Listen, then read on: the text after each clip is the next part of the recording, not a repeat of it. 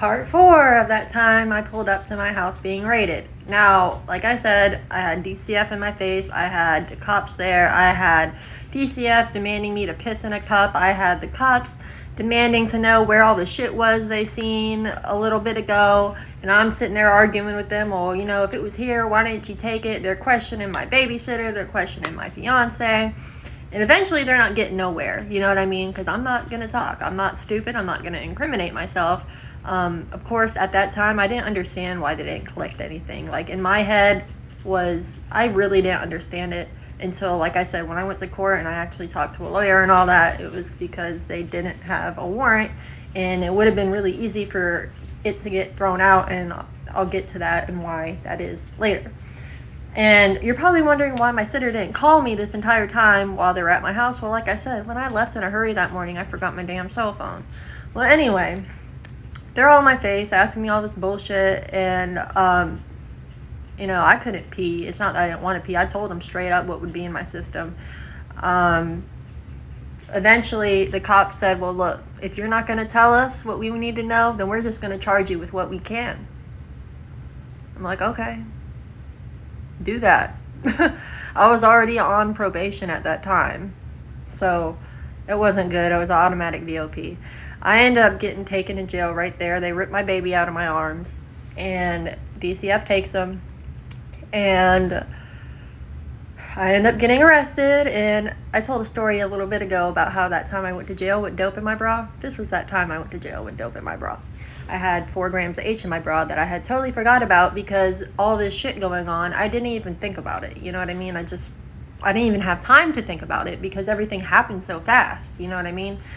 Um, I ended up getting taken to jail on felony child neglect um, without bodily harm because it's bullshit how they came up with that charge. But it, it was a serious one basically they and i didn't understand how i was getting charged with that charge really because everything was kept separate on the other end of the house from my son like i said they just happened to show up at the wrong day we always had a motel room that we did our dealing out of the one time i happened to be sick and we happened to be at home those two days that i was at home they happened to show up and i don't think looking back that was a coincidence um, one of my lawyers mentioned that somewhere later on that there was actually a report called in that I was dealing with my kid in the home. So I think that's more of what happened, but I'm not sure.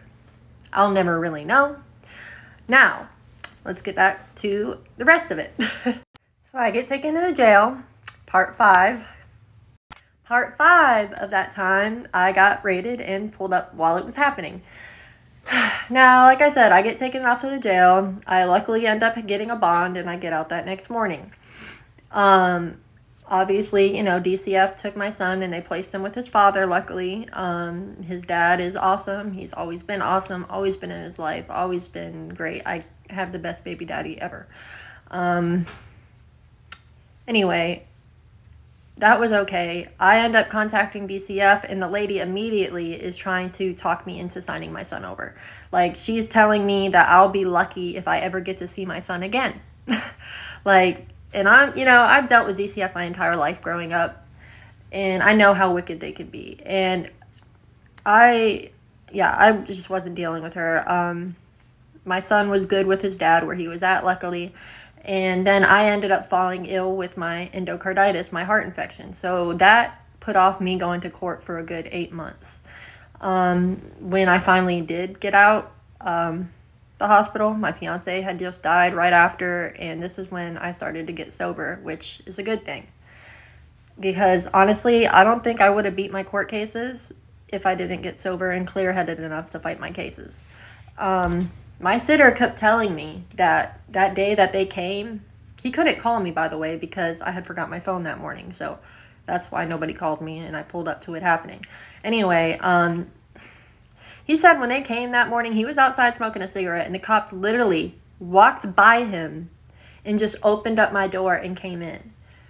But when I have asked the cops how they got in my house or why they were in my house, they said that my front door was open.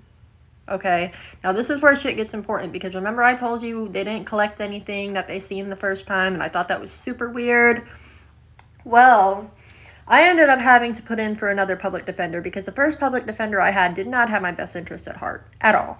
And I think it's because my past with addiction, she represented me before in other cases. I would always miss court. I always had problems going on. And then with my heart infection, nobody took me serious on that either. They just thought that I was trying to miss court, you know what I mean? And she just didn't take me serious. When I kept asking for the body cam footage, she just kept brushing it off like it didn't matter. And, you know, I have a right to that. You know what I mean? I have a right to see the body cam footage just like anybody does.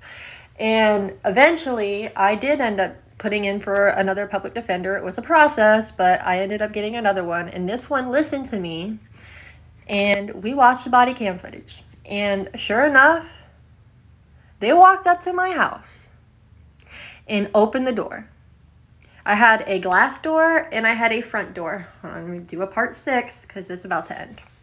Part six, so that time I pulled up to my house while it was being raided.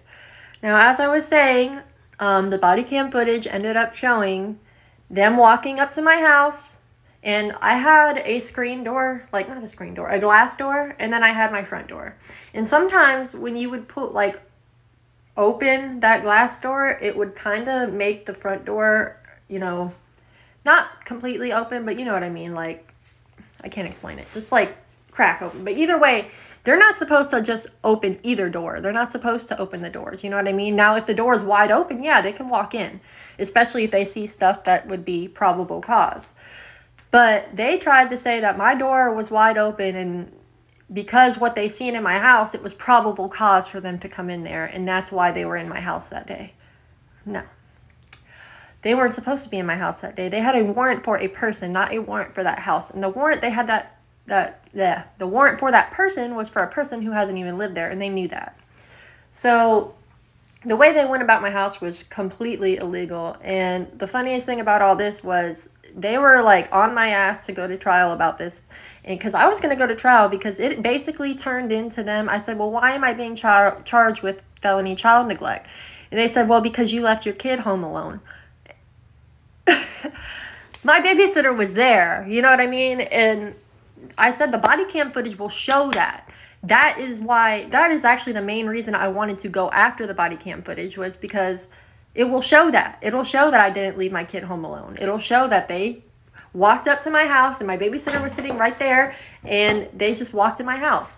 So not only did the body cam footage show how they went about entering my house, it also showed that my son was never left home alone, which threw out the child neglect charges.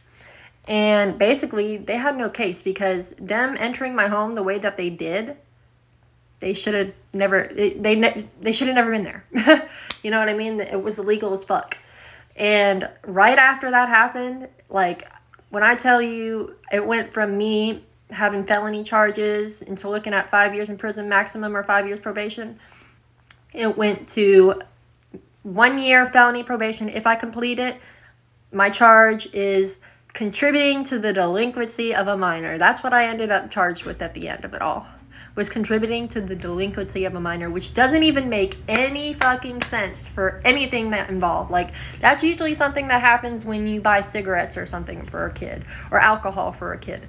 So, that just goes to show you how fucked up they had me. You know what I mean? Like, they just had to charge me with something in the end. And my public defender even told me that, that they just had to charge me with something. Part seven coming up.